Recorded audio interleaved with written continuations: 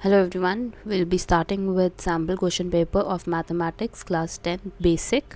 So in this we will be having maximum marks of 40. तो आप सभी को पता ही है कि 40 मार्क्स के पेपर होने and they will be based on them तो इसमें ये सबसे अच्छी बात लगी कि इन्होंने ऑप्शंस दिए हैं क्योंकि एम करना बहुत आसान बात नहीं है बहुत डिफ़िकल्टीज़ हो सकती हैं हमें एम करने के टाइम तो ध्यान रखना करते हुए ऑब्वियसली सेकेंड चीज़ ये है यहाँ पे कि हमारे पास तीन सेक्शंस हैं ए बी एंड सी और कोई नेगेटिव मार्किंग नहीं है यहाँ पे। तो you can attempt all of them first section A में देखो तो ट्वेंटी क्वेश्चन हैं, उसमें से आपको सिक्सटीन करने हैं। सेक्शन बी में देखो तो ट्वेंटी हैं अगेन आपको सिक्सटीन करने हैं। टेन सी में आपके पास टेन क्वेश्चन हैं और वो केस स्टडी वाले हैं। केस स्टडी में आपने कोई आठ ही अटैम्प्ट करने हैं क्वेश्चन। वही बात हो गई कि दस में से आपको आठ करने हैं, बीस में से सोलह, बीस में से सोलह। तो और टोटल कितना हो जाएगा आपका? Forty marks. अब फ़र्स्ट क्वेश्चन की तरफ़ चलते हैं सेक्शन ए में। बहुत सिंपल सा क्वेश्चन दिया हुआ है इन्होंने। हमें बोला है box contains cards number sixty to fifty मतलब सिक्सटी से लेकर फिफ्टी तक इसमें नंबर्स दिए हुए हैं हमें। कहाँ से स्टार्ट हो रहे हैं? सिक्स से।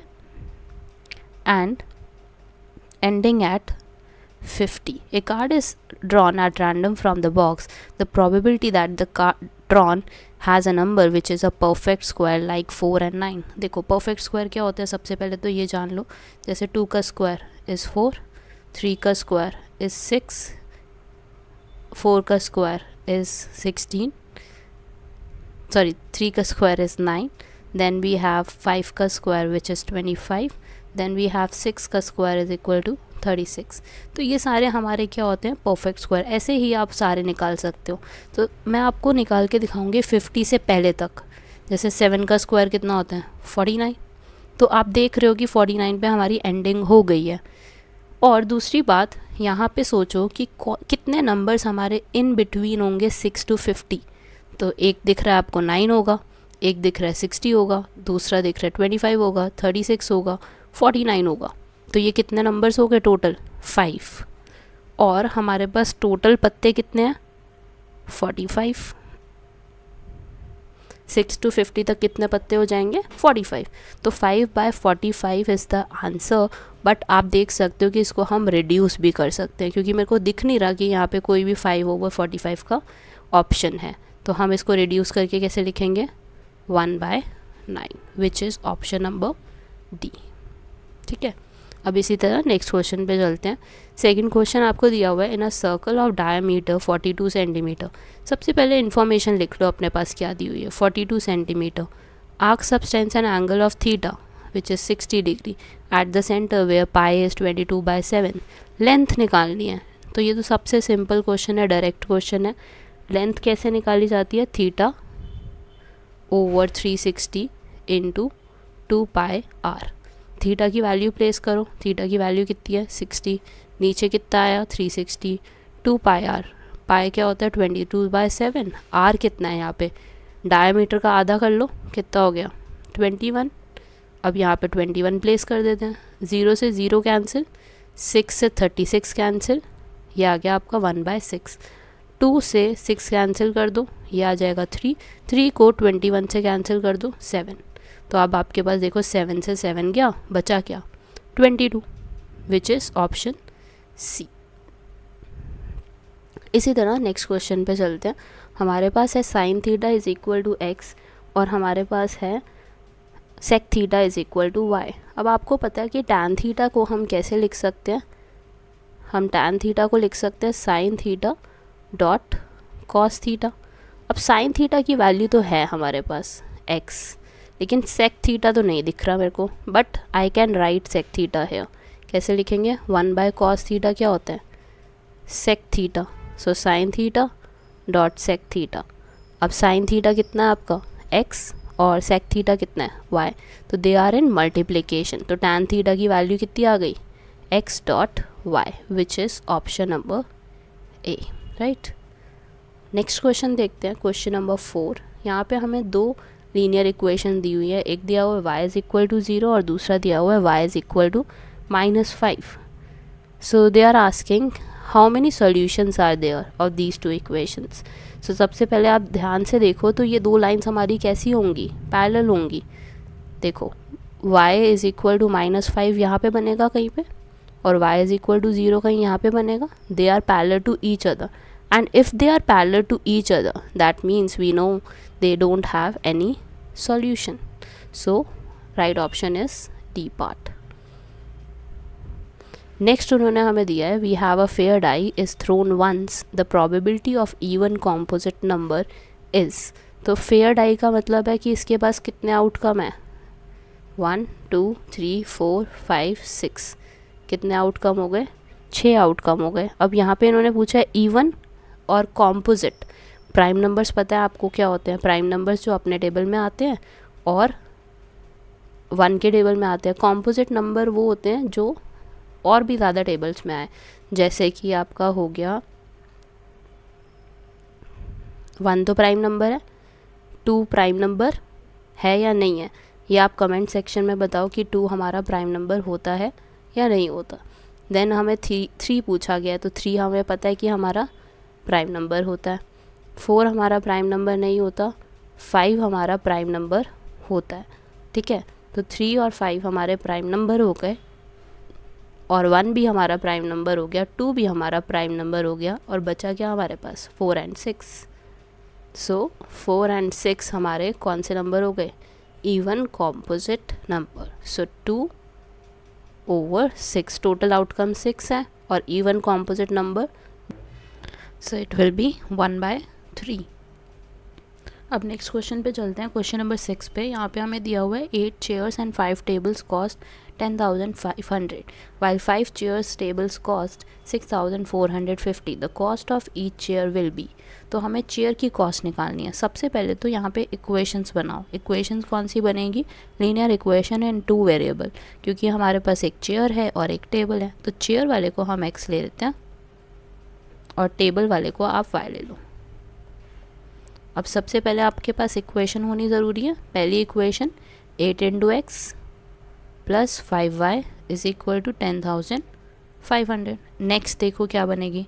Five X plus three Y is equal to six thousand four hundred fifty अब मैं कोशिश ये करूँगी कि हमारा टेबल की क्वांटिटी कैंसिल हो जाए, क्योंकि मेरे को चेयर की वैल्यू निकालनी है। तो हम क्या करेंगे, इसको थ्री से मल्टीप्लाई करेंगे इस इक्वेशन को, और इसको किस से मल्टीप्लाई करोगे? फाइव से, ताकि मेरी वाई की वैल्यू कैंसिल हो सके। तो एट इंटू थ्री कितना होता है हमारा? It is twenty four so twenty four X हो जाएगा। Twenty four X plus five into three is fifteen Y then आपको क्या दिया हुआ है? टेन थाउज़ेंड फाइव हंड्रेड इसको हम किससे मल्टीप्लाई करेंगे? इसको भी थ्री से मल्टीप्लाई करोगे। So you will get thirty one thousand five hundred next देखते हैं। अब आपके पास है ट्वेंटी फाइव एक्स नेक्स्ट देखो five into three fifteen Y next हो गया आपका six four five zero into five which is thirty two thousand two hundred fifty अब ध्यान से देखो तो आपकी फिफ्टीन वाई और फिफ्टीन वाई वाली कैंसिल हो जाएगी। ट्वेंटी फोर एक्स में से ट्वेंटी फाइव एक्स गए तो हमारे पास माइनस एक्स आ जाएगा और thirty one thousand five hundred में से अगर आप माइनस करोगे thirty two thousand two hundred fifty तो आपके पास आ जाएगा सेवन फिफ्टी। सो आप देखो यहाँ पे माइनस सेवन फिफ्टी बचा और दोनों ही तरफ़ यू कैन सी कि माइनस माइनस हमारा कैंसिल हो जाएगा। So what is my value my value for chair is seven fifty. अब आपने देखा कि मैंने अपने अपने अपने आंसर को छोटा कर दिया। क्यों कैसे किया? कि हमें वैल्यू सिर्फ़ चेयर की निकालनी थी तो टेबल वाले वेरिएबल्स को माइनस कर देते हैं। सो so, इस चीज़ का ध्यान रखना। नेक्स्ट देखते हैं। अब आपके पास दिया हुआ है cos theta plus plus cos square theta is equal to one sine square theta plus sine raise to power four theta की वैल्यू आपको फाइंड करनी है। तो सबसे पहले जो आपका गिवन पार्ट है ना, उसको देखो आप।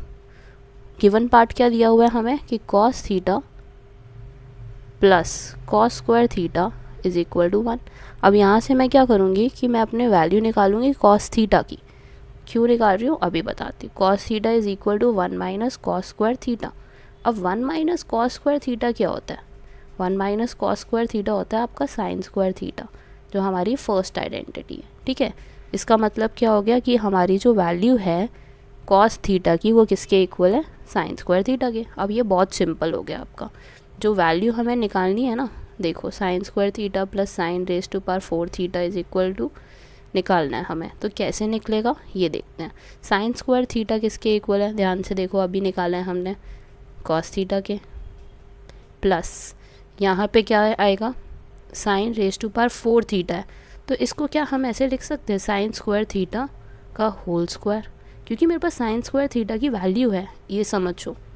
तो सबसे पहले cos theta as it is sine square theta की वैल्यू कितनी आएगी? कॉस थीटा का होल स्क्वायर तो देखो सेम वैल्यू आ गई आपकी cos theta plus cos square theta जो हमारे पास इनिशियली था। और वो किसके इक्वल है? वन के। इसका मतलब out of these all options C is the correct answer तो आपने सोचना है कि हम इसको सिंप्लीफाई कैसे करें। सिंप्लीफाई करके फिर उस इक्वेशन का ही यूज़ करो जो दी हुई है। और फिर उसके अंदर सब्सिट्यूट कर सकते हो। ठीक है? नेक्स्ट क्वेश्चन देखते हैं question number eight now you have the decimal uh, the decimal representation of 23 over 2 raised to power 3 and 5 का स्क्वायर तो दिस इज़ टर्मिनेटिंग पहले ही पता चल रहा है। क्यों? क्योंकि इसके पास कौन सा बेस है? Two raise to power M and five raise to power N ये इस टाइप का जब भी होता है डिनोमिनेटर में तो इसका मतलब क्या है? That value will be terminating ये ध्यान रखना इस चीज़ का। तो इसका मतलब option A is correct one. Next देखते हैं, नाइन्थ वाला देखते हैं, बहुत सिंपल है ये भी हमारा।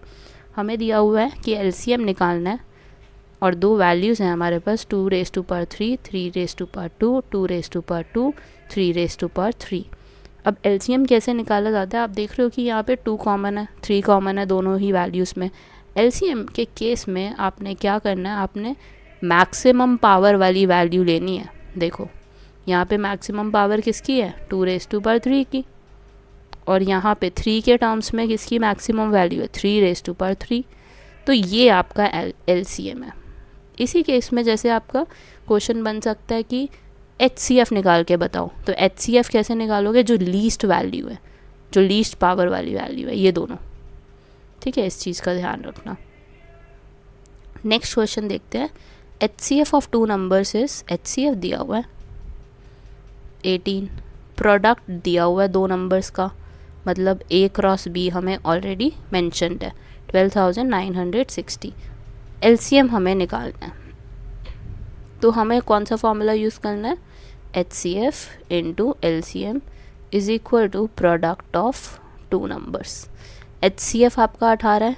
एल सी एम आपको नहीं पता।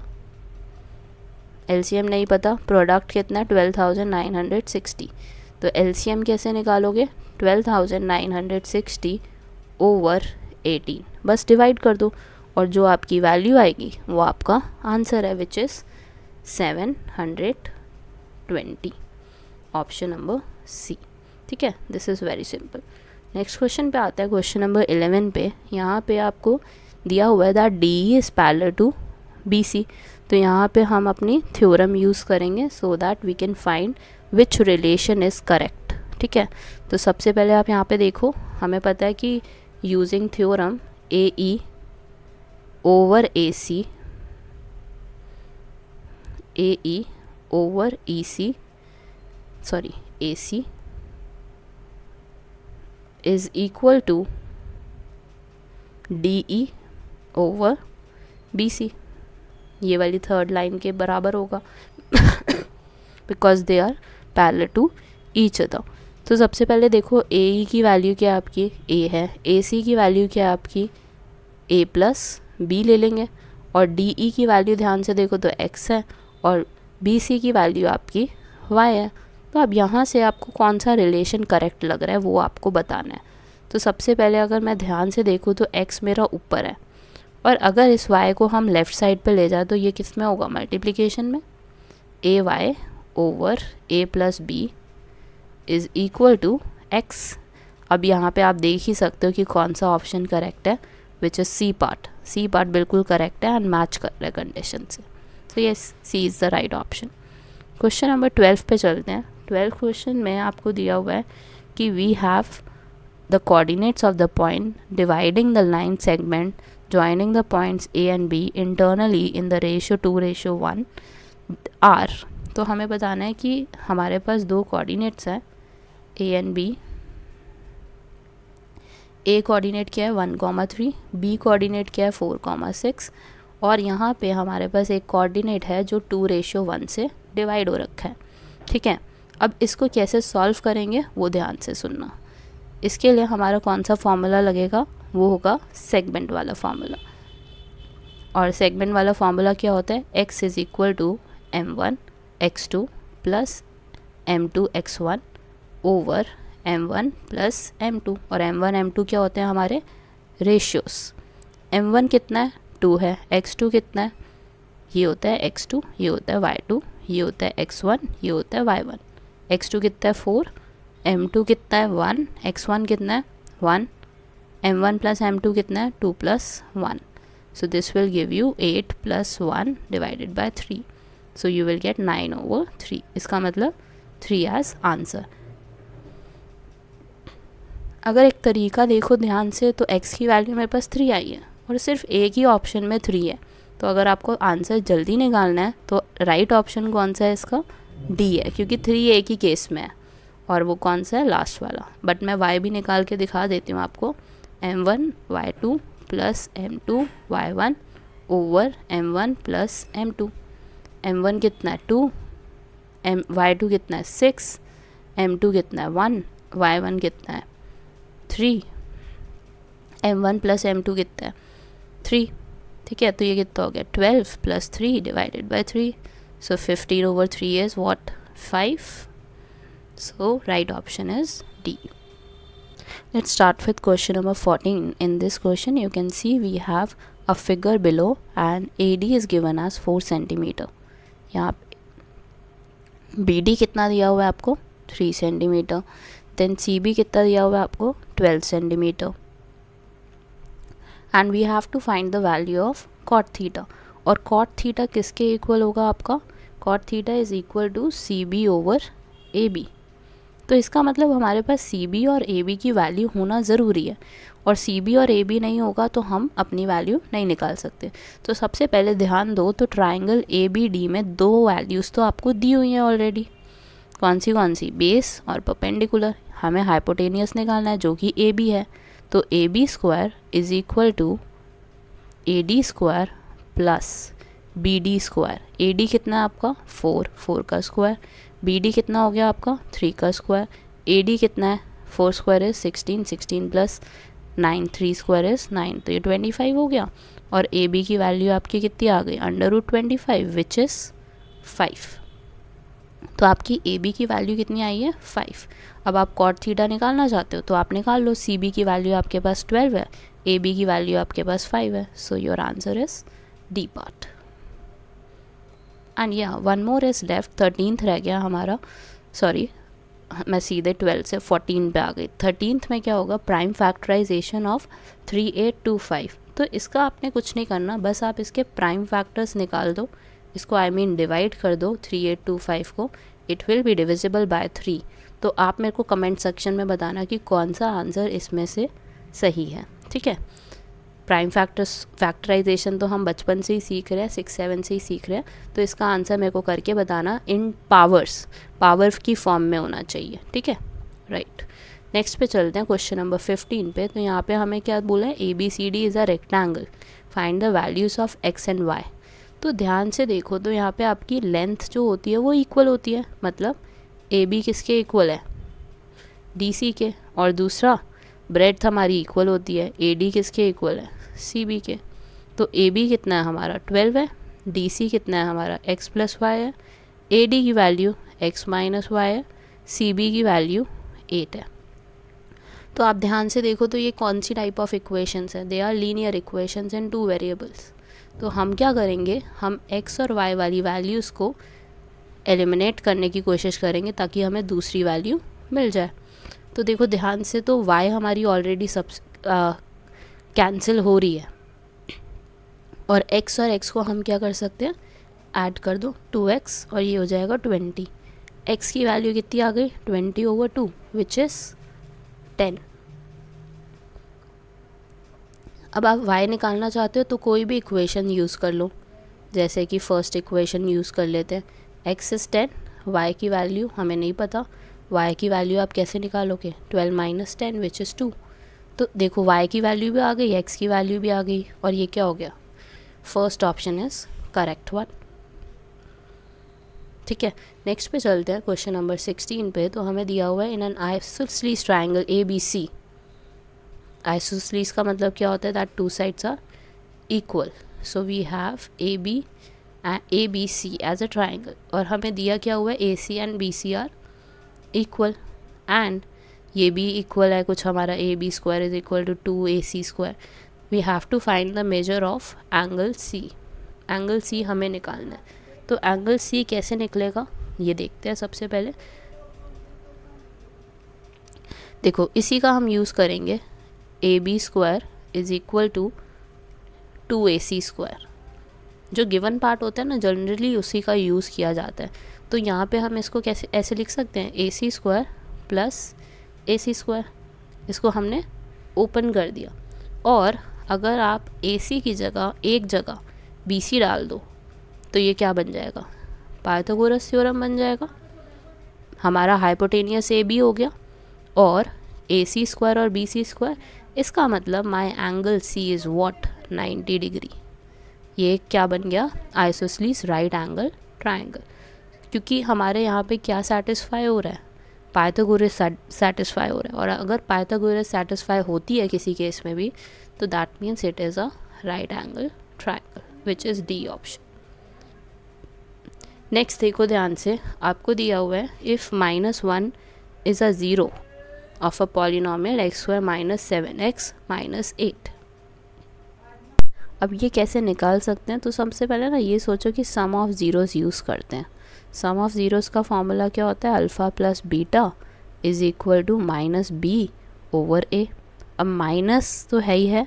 बी की वैल्यू देखो कितनी है? माइनस सेवन जो एक्स के साथ होता है। और ए की वैल्यू कितनी है? वन माइनस से माइनस कटा। आपको क्या मिल गया? Seven alpha plus beta is equal to seven अब अल्फ़ा की वैल्यू कितनी है? माइनस वन है। बीटा हमें नहीं पता। और बीटा की वैल्यू कितनी आ जाएगी आपके पास? Seven plus one which is eight beta value is eight for you ठीक है एट की वैल्यू आ गई हमारी which is option number D अब एटीन क्वेश्चन देखो, जो कि बहुत सिंपल है बट ध्यान से करना, यहाँ पे दिया हुआ है throw of a pair of dice pair of dice के लिए ना आपको क्या करना पड़ेगा? या तो आप उसको याद कर सकते हो। दूसरी चीज़, आप क्या कर सकते हो, उसको क्रिएट कर लो फटाफट से। ज़्यादा टाइम नहीं लगता, सिर्फ़ आपने क्या करना है one two three four five six horizontally लिखना है और वर्टिकली लिखना है। अब आप इसको फिल कैसे करोगे? फिल ऐसे किया जाता है। वन वन तो यहाँ पे आप लिखोगे वन कॉमा वन थोड़ा सा गैप रखना पड़ेगा यहाँ पे, ताकि हम यहाँ पे इसको फिल कर सकें। तो ये one two three four five six तो ये वन कॉमा टू फिर वन कॉमा थ्री वन और थ्री वन और फोर वन और फाइव वन और सिक्स तो ये चलता जाएगा। सिक्स तक ही है और यहाँ तक ये ख़त्म हो गया। अब इसके बाद आएगा टू कॉमा वन तो अब इन्होंने बोला है कि same number on each die die होना चाहिए। तो वो सिर्फ़ ना डायगनली आता है। ये देखो, इस केस पे आएगा आपका टू कॉमा टू और थ्री के नीचे आएगा थ्री कॉमा थ्री फिर हमारा आएगा फोर कॉमा फोर फिर आएगा फाइव कॉमा फाइव फिर आएगा सिक्स कॉमा सिक्स तो आप देख सकते हो छः बार ये आया। इन टोटल छः बार आया और टोटल हमारे पता है कितने बनते हैं यहाँ पे प्रोबेबिलिटी में? थर्टी सिक्स तो ये कितना हो जाएगा आपका? वन बाय सिक्स तो इस टेबल को बनाना सीख लो, ऐसे ही बनेगा। एक बार वर्टिकली लिखा, एक बार हॉरिजॉन्टली लिखा और इसको कंप्लीट कर दो बस। अब आते हैं नेक्स्ट क्वेश्चन पे। नेक्स्ट क्वेश्चन है आपका mid point of three P four ये हो गया आपका थ्री पी कॉमा फोर और दूसरा पॉइंट हो गया आपका minus two comma two Q ठीक है? अब मिड पॉइंट इन्होंने आपको क्या दिया हुआ है? टू कॉमा सिक्स अब मिड पॉइंट का फॉर्मूला क्या होता है? x is equal to x one plus x two divided by two और y का फॉर्मूला क्या होता है? Y one plus y two divided by two अब x क्या है हमारा? ये मिड वैल्यू y क्या है हमारा? मिड वैल्यू और ये वाली कौन सी है? x वन वाई वन ये कौन सी है? एक्स टू वाई टू तो एक्स की वैल्यू कितनी है? पहले देखो. टू है हमारी mid value two, x one की वैल्यू कितनी है?